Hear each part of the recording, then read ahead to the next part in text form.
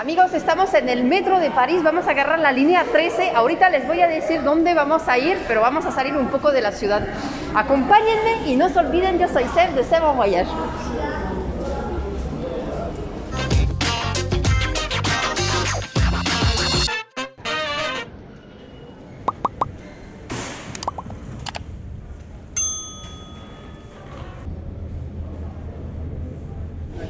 En el vagón, en la línea 13, como les dije, vamos hacia las afueras de la ciudad y pues nuestro destino, Basilique de Saint-Denis, la estación del metro no tiene gran ciencia, ahí está.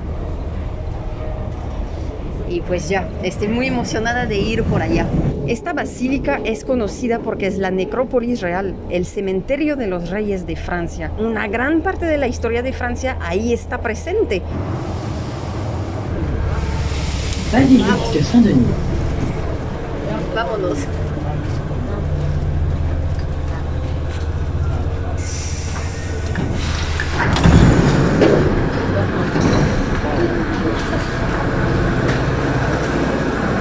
Bueno, ya salimos del metro, está aquí atrás a escasos pasos. Estamos por llegar a la basílica. Acá está, vean esta belleza. Hermosa, ¿no? Pues les voy a contar un poco. Este, esta basílica tiene 16 siglos uh, de edad. Sus primeras fundaciones, sus primeras bases fueron puestas en el siglo V y la fachada, tal como la conocemos hoy, data del siglo XII. Es de las catedrales góticas más viejas de toda Europa. Como toda basílica, está construida sobre un sitio de importancia para el cristianismo. Según ellos, aquí se sepultó a Saint-Denis, el primer obispo de París martirizado por los romanos hacia el año 270 y ahora canonizado. Pues bueno, ya vamos a entrar, vengan conmigo. Vean esta belleza, los relieves, los arcos, una joya arquitectural. Los vitrales están hermosísimos.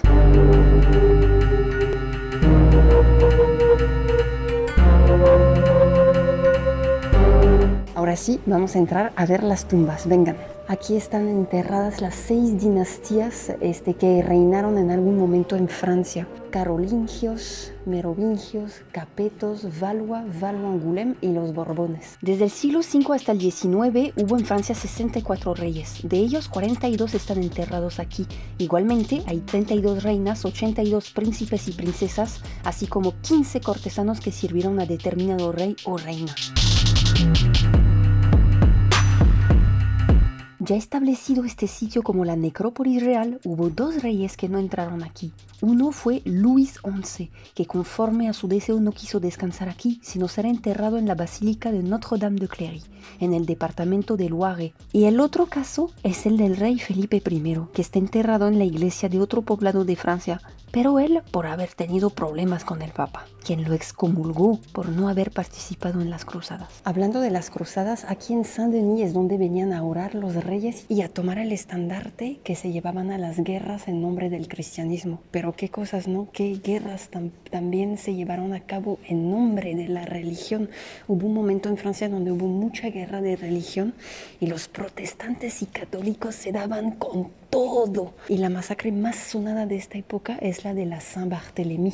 Esto llevó al rey de entonces, Enrique IV, a abandonar el protestantismo que él profesaba para intentar calmar las cosas, ¿no? Y dicho anuncio lo hizo aquí, en este sitio, y dijo la famosa frase que se le atribuye. París bien vale una misa. Pero qué cosas. El rey fue asesinado finalmente por un fundamentalista católico.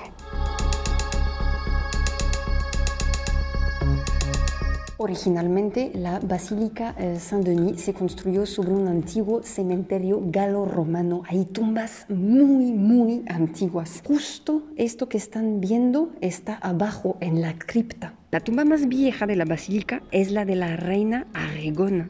Era nuera del rey Clovis, que en la historia se dice es el primer rey de Francia. Fue enterrada aquí en la segunda parte del siglo VI. Poco después llegaría el primer rey, Dagoberto. El cuerpo del rey más antiguo que aquí descansa es el de Dagoberto I, muerto a inicios del siglo VII, pero su mausoleo, el que ven ahora, es del siglo XIII. Como podemos apreciar, muchas de las tumbas tienen esculturas que representan al personaje dormido. En francés les llamamos gisant.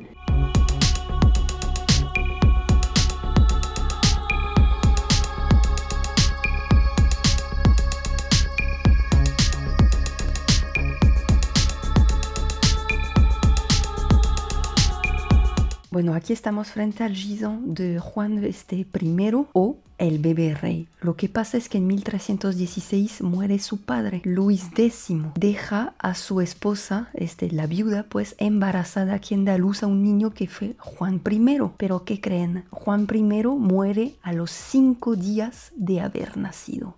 Y su tío Felipe V sube al trono. Obviamente no hubo tiempo de coronarlo, por eso ven a su gisant sin corona.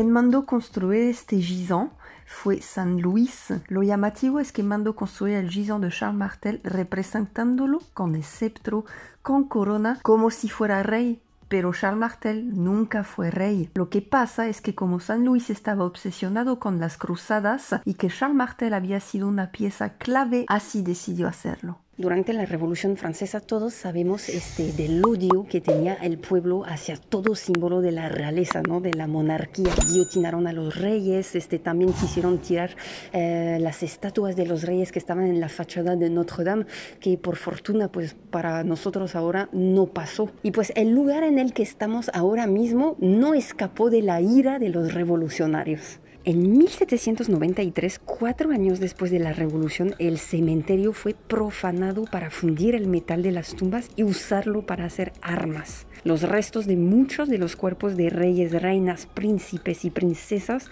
fueron arrojados a una fosa común que se cavó al lado de la basílica. Testimonios de esa época, de cuando abrieron las tumbas, dicen por ejemplo que el cuerpo de Luis XV no estaba embalsamado dado que había muerto de viruela, o que el cadáver de Luis XIV, el rey Sol, estaba negro como la tinta. Recordemos que este rey murió de gangrena. El cuerpo del rey Enrique IV dicen que se encontró en perfectas condiciones. Como el cuerpo estaba bien conservado dada la momificación, se decidieron a exhibirlo. Pero dice la leyenda que en una de estas alguien le voló la cabeza. Este rey fue el que comenté hace rato que se había convertido al catolicismo. Con él hay otra historia de esas que parecen de película. Una historia de película que continúa hasta ahora. Se supone que la cabeza momificada de Enrique IV apareció en manos de un coleccionista poco más de 100 años después de su profanación, pero nadie le daba crédito de que decía tener. Tuvieron que pasar otros 100 años más para llegar a la actualidad. Y la película de la cabeza de Enrique IV sigue en suspenso. Así como nuestro video que también queda en suspenso. ¿Quieren saber qué pasó con la cabeza del rey Enrique IV? ¿Saber qué pasó al final con los reyes y reinas que fueron profanados. ¿Sabían que el hijo de Luis XVI y María Antonieta tuvo un desenlace muy trágico? Esto y más en la segunda parte de este video. Allá los veo.